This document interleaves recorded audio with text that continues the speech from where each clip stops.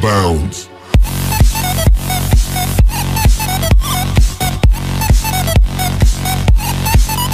What's up mga kakapstruck? Ah, kamusta naman kayo ngayon? Medyo natagalan tayo bago mag-unbox ulit kasi nung nakaraan medyo busy tayo. So, yung mga cups natin hindi ko na in-unbox kundi pinost ko na lang kaagad para makita nyo na kaagad. Kasi medyo mahirap i-unbox tapos i-edit pa bago ipopost. So, ayun. So, by the way, may maliit na unboxing tayo ngayon. Ah, dalawa lang, dalawang maliliit na box lang. Kasi ito na lang yung mga natitirang hindi pa na-unbox dito.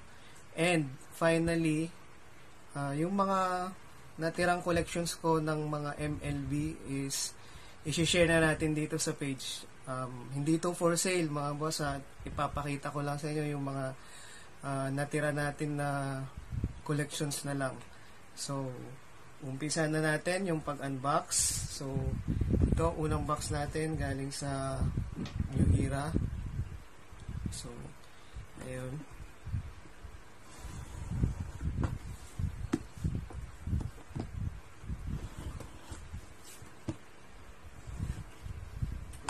Ayan, so, bali isa lang to kasi naubos na yung, mga, yung marami i-unbox. Pero brand new to, galing sa ano, sa New Era. Ayan, may box pa. So, isa natin. Ayan, so, ito, box ng New Era. Mga boss. And then,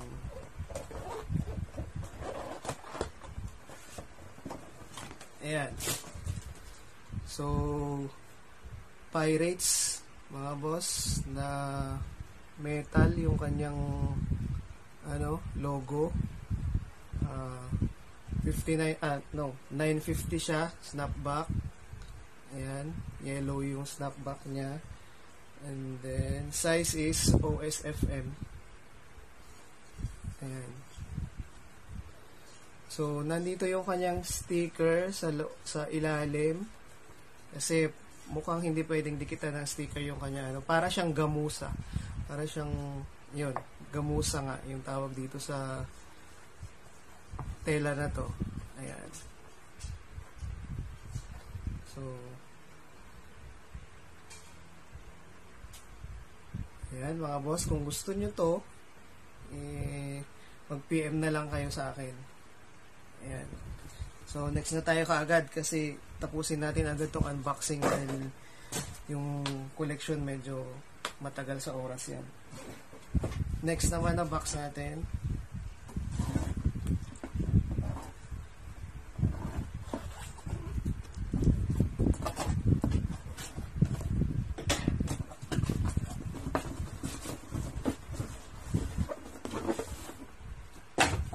Ayan. Isang cup ulit.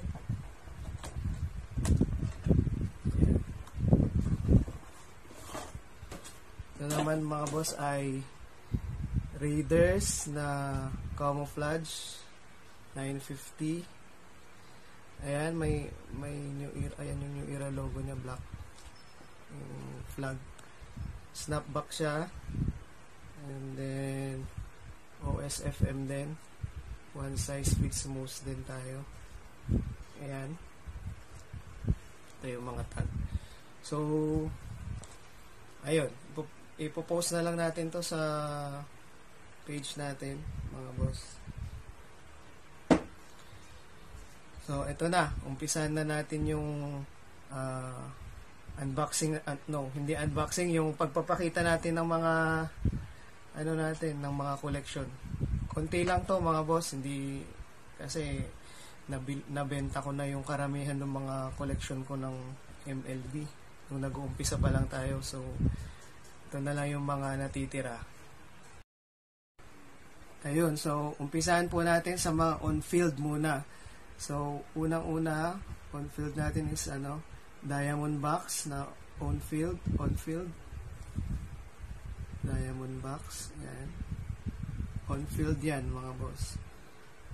So, next natin, SD, San Diego na, ano, na on-field.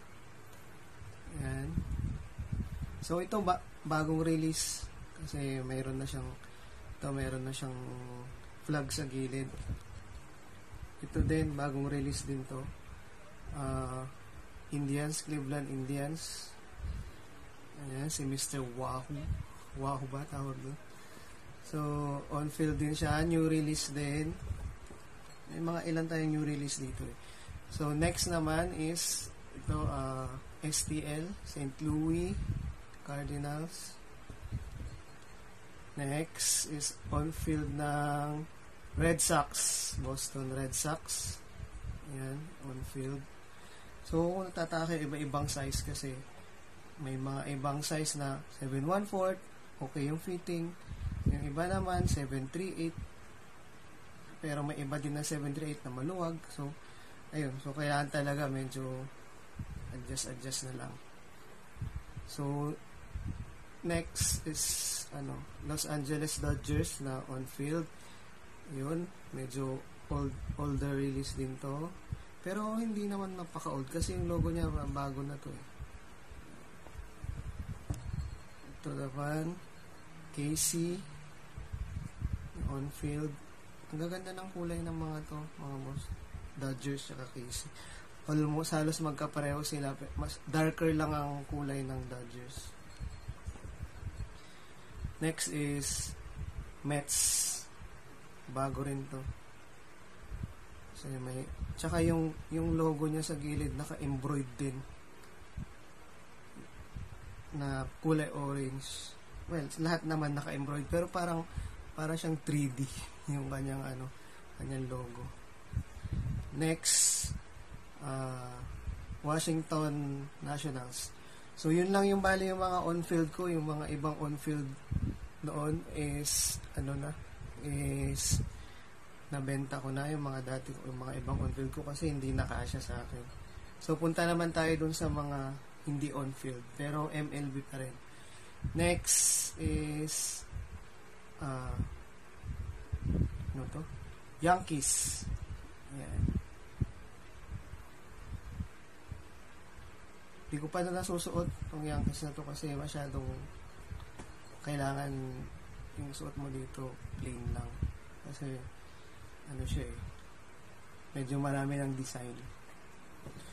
Tapos itong ano uh, diamond box ulit na genuine merchandise. Maganda to mga boss, maganda ng kulay. Next, yung nag ito yung nag-iisa kong ano, uh, nag-iisa kong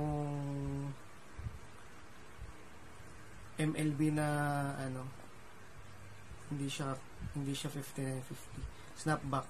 Shoutout pala kay Boss Arjon sa pag-hook up sa akin ng cup na to. Kanya ko nakuha to. Si Boss Arjon ng A-Game yan. Uh, next is, ano, uh, Mariners naman tayo.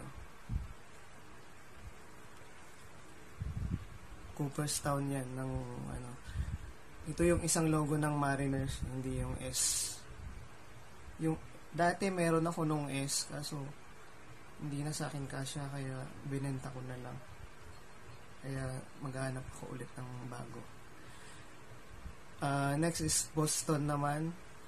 Boston Red Sox na black. Tapos yung yung kanyang logo is white na papunta sa gray pababa.